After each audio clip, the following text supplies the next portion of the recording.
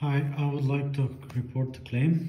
First of all, I'd like to show you that there's a lot of things wrong with this uh, servo tester. First of all, as you can see, the knob is not staying in place. If you look at the screen, there is no servo connected yet. And as you can already see, on all channels, there is some weird activities going on. Some 7 milliamps 4 milliamps 6 milliamps and so on. Basically on each and every channel. So this is again some weird things going on channels.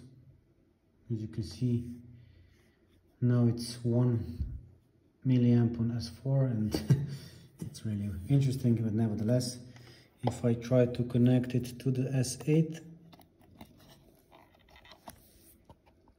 you can see that if I ah sorry I forgot to change to the right way. But I just use this knob. Oh no it's a lot of activities. There is nothing happening with the servo. No action on channel 8 if I put it on channel 7 you already could hear the servo. Now now it's working.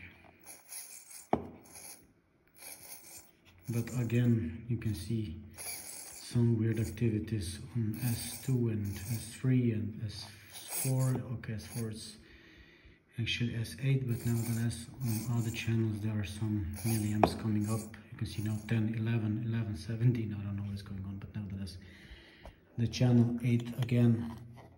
I can show it to you once more. It's not not working at all. Not working at all